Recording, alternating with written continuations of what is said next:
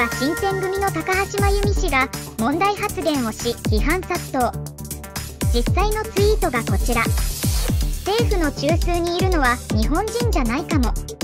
だとしたら今までの国民いじめも合点がいくかも。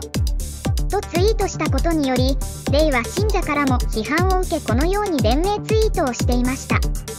誤解のないよう付け加えますが日本人じゃないかもと動画内で言ってるんですよ。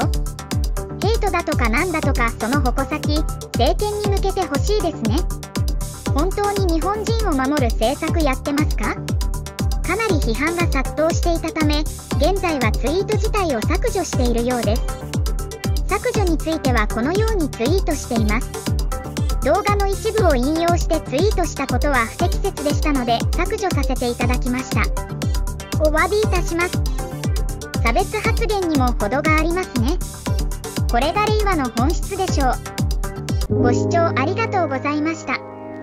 チャンネル登録よろしくお願いいたします。